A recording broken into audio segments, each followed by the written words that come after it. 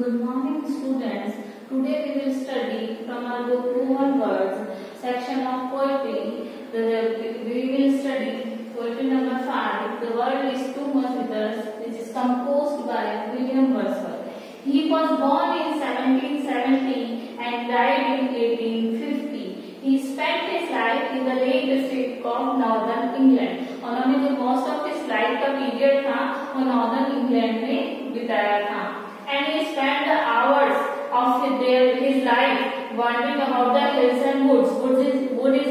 the forest. मतलब उन्होंने जो मोस्ट ऑफ़ उनकी लाइफ स्पेंड करी थी, वो नेचर में स्पेंड करी थी नेचर को सर्च करने में नेचर में घूमने में करी थी.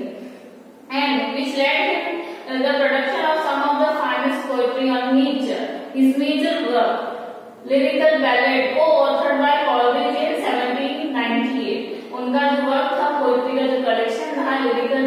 बैलेट जो उन्होंने कॉलरिज सैमुअल टेलर कॉलरिज जो इनके को ऑथर थे और ये भी नेचर से रिलेटेड काफ़ी पोएट्रीज लिखते थे उनके साथ मिलकर ये बहुत इनका फ़ेमस वर्क किया था and which they both of them led the beginning of romantic movement English English का जो रोमांटिक मूवमेंट पीरियड आता है उनके अगर कहे जाते हैं उनका जो विनिंग करने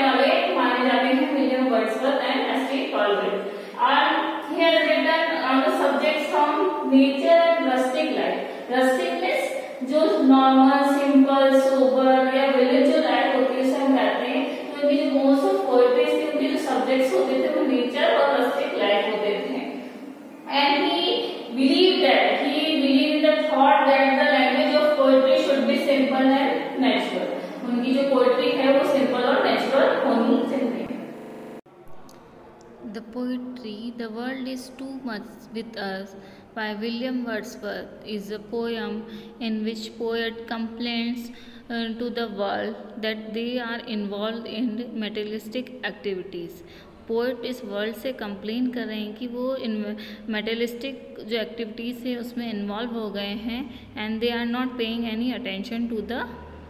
nature and this poem is compose in 1802 ये जो पोयम है, वो 1802 में कंपोज की गई and pub it was published in 1807 and it is a Petrarchan sonnet हमने हमारे जो पिछली जो पोइट्रीज थी शेक्सपियर की let me not to the marriage of true minds we have studied that what is sonnet sonnet क्या है और कितने टाइप्स की होती हैं? That sonnets are Shakespearean sonnets and Petrarchan sonnet so this is the Petrarchan sonnet and which octave and set is there. And the here the speaker is an environmental activist और जो speaker हैं वो environmental activities के बारे में हमें describe कर रहे हैं। And the setting of the poem is a grass land overlooking a sea beach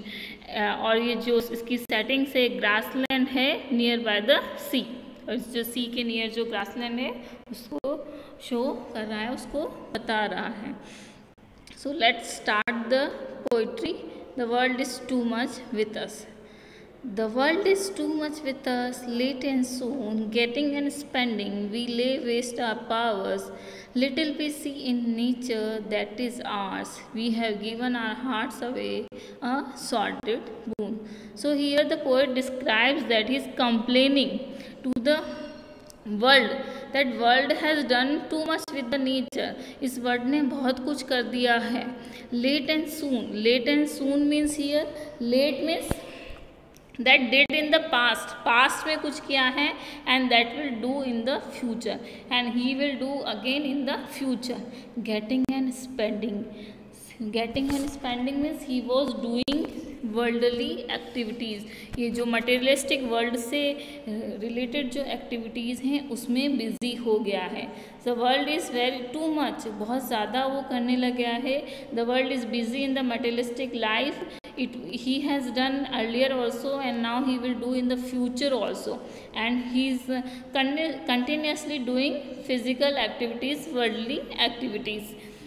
and we lay waste our powers and for doing worldly activities materialistic activities हम अपनी powers को waste कर रहे हैं we are wasting our powers little we see in nature that is ours and the world he is telling that world is not with us world हमारा नहीं है what what is with us that is nature ये जो nature है that is ours and what we do हम क्या करते हैं we little we see in the nature और हम इस nature में बहुत ही कम अपना टाइम स्पेंड करते हैं हम अपने वर्ल्डली एक्टिविटीज़ में ही बिज़ी रहते हैं we have given our hearts away a sordid boon और हमने जो, अपना जो हार्ट है we have given to the materialistic things इस जो वर्ल्ड की मटेलिस्टिक एक्टिविटीज़ हैं वर्ल्डली थिंग्स हैं, उसमें दे दिया है। That we do not feel that nature has anything to us हम ये नहीं फील करते या नहीं सोचते कि नेचर हमारे लिए कुछ भी दे सकता है it can offer us anything but we are busy in the worldly worldly thing and he is telling it sordid boon तो ये एक सरकास्टिक है। सॉर्टेड बून कह रहे हैं। सॉर्टेड बून बून तो वरदान होता है और सॉर्टेड मीन्स यूजलेस वर्स्ट खराब, बेकार। तो एक तरफ़ से वो कह रहा है कि ये खराब वरदान है। एक सरकास्टिक रिमार्क दे रहे हैं poet that we are so busy in the worldly affairs that we are not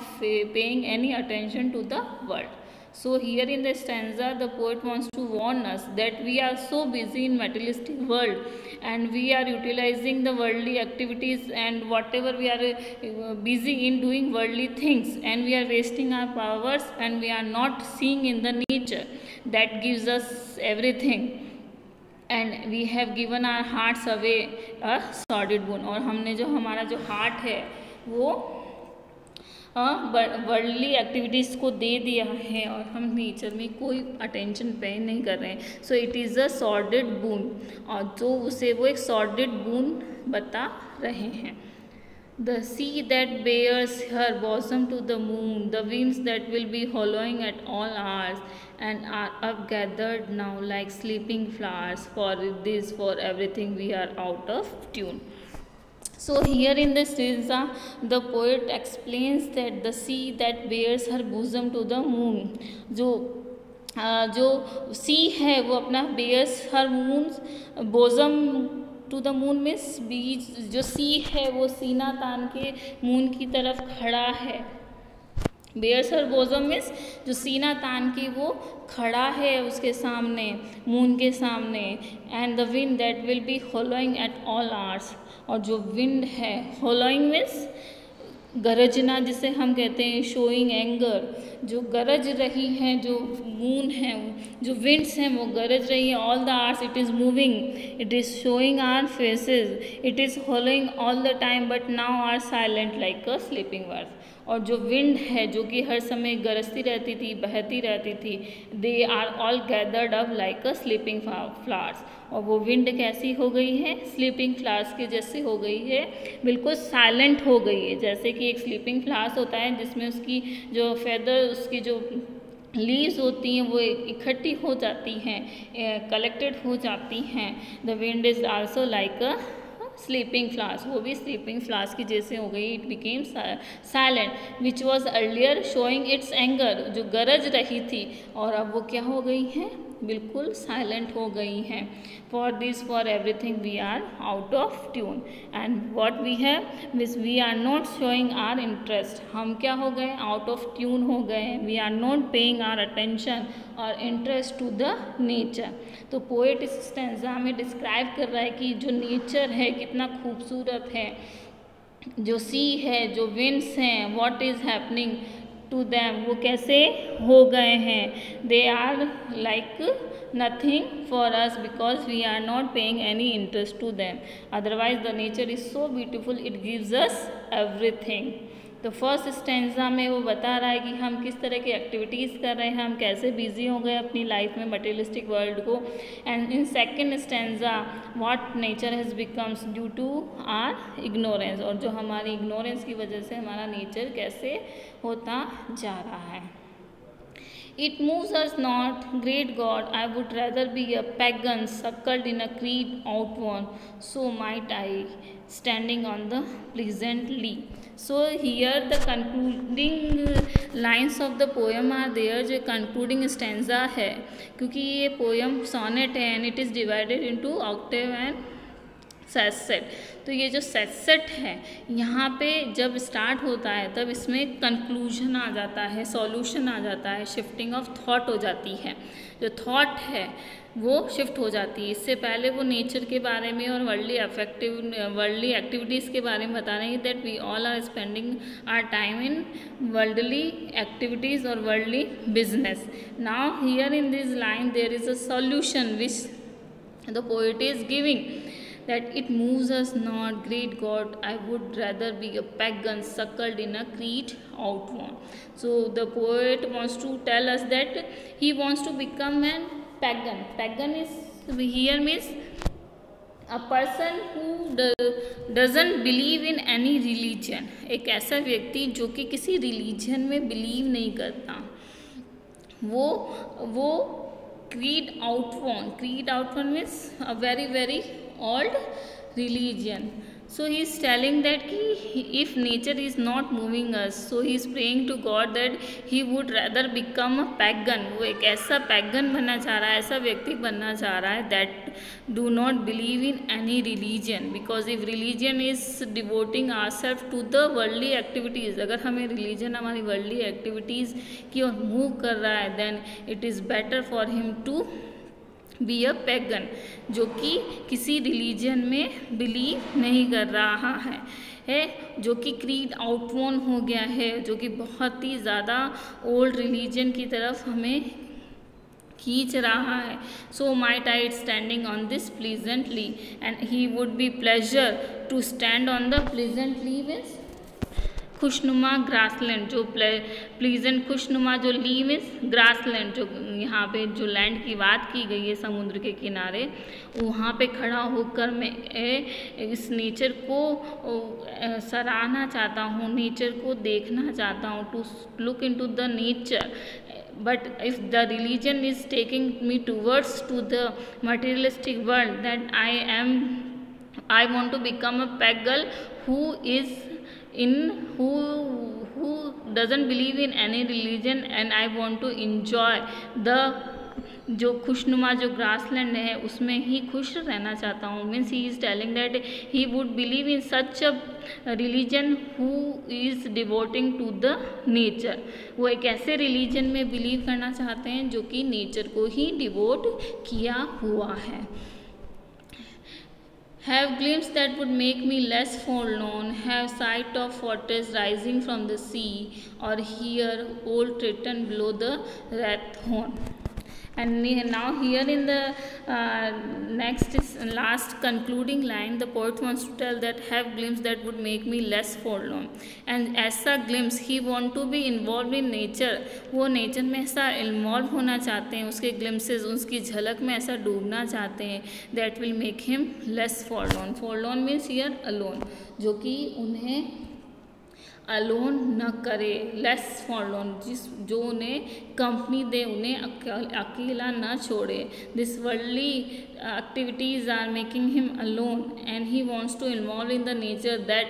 would not give make him alone वो उसे अलोन नहीं रखेंगी, अकेला नहीं रखेंगी, वो नेचर में डूबना चाहता है। Have sight of प्रोस्टी Proteus rising from the sea Proteus is the sea god एक ग्रीक ग्रीक मैथोलॉजी के according he is the sea god who has the ability to tell the future but he he doesn't want to tell the future एक ऐसे प्रोस्टेज Proteus ऐसे god थे Greek mythology के according sea god थे जो कि जिन्हें फ्यूचर फ्यूचर बता सकते थे बट वो अपना, वो फ्यूचर बताने में बिलीव नहीं करते थे। And he the poet is telling that he wants to see he wants to have the glimpse of nature जो उसके अकेला ना छोड़े। He wants to see the sight of god rising from the sea और वो god को देखना चाहते हैं जो कि सी में से निकल रहे हैं। और hear old Triton blow the wreath horn and Triton is also a sea god Triton भी जो है एक सी गॉड थे। और जो आ, आ, जो कि जिनके पास एक रथ होन था जिसे कौंच कहते हैं, एक शंख था, जिसे वो बजाया करते थे। सो हियर प्रोटेस और टाइटन जो है सी गॉड हैं ग्रीक माइथोलॉजी के according and he is having a shell और कॉन्च ट्विस्टेड कॉन्च जिनके पास एक कॉन्च हुआ करता था। So the poet is telling that he wants to involve in nature so much that he could have he will not be alone वो alone नहीं रहेंगे and he could have sight of the Proteus uh, sea god and Titan sea god who blow his red horn red horn means जो उनका twisted conch था जो शंख था जो उसे वो बजा रहे हों उसे वो सुनना चाहते हैं तो पोइट यहाँ कह रहे हैं कि he wants to be involve in nature वो पूरे नेचर में ही खो जाना चाह रहे हैं और नेचर की जो झलक है उसमें डूब कर he wants to see Proteus and Triton god and their activities from the sea और उन एक्टिविटीज़ को सी में देखना चाह रहे हैं. So here in this poem the poet tells to human beings that the, this nature this nature is permanent this worldly activities are temporary we have to be he always busy we are busy in materialistic activities हम इस पूरे संसार में जो ये materialistic activities में busy हैं, जबकि वो टेम्प्रेरी हैं, वो कभी भी नहीं हमारे साथ में रहेंगी. बट ये nature this nature is always with it is permanent ये हमेशा हम, हमारे साथ रहेगा. It will give us everything so we should see in nature हमें नेचर की तरफ़ ध्यान देना है और he is also telling that he wants to be a person who will not believe in such a religion who is involve in materialistic world वो एक ऐसे रिलीजन में बिलीव करना चाहते हैं जो कि नेचर को नेचर की तरफ़ उन्हें ले जाए, उन्हें खुशनुमा ग्रासलैंड पर ले जाए। वो ऐसे रिलीजन में विश्वास नहीं करना चाहते जो उन्हें वर्ल्डली एक्टिविटीज़ की ओर ले जाए। and he want to see in he want to involve in nature so much that he could enjoy the activities of nature हर एक एक्टिविटीज़ को वो इन्जॉय कर सकें So this poem is a sonnet and this poem poet complains about the materialistic world and he's telling that we are not paying attention to the nature. So uh, it is the uh, now time is there that we should be should pay our attention to the natural activities. हमें अपनी nature की तरफ ध्यान देना होगा natural activities की तरफ ध्यान देना होगा I hope you would have understand this poetry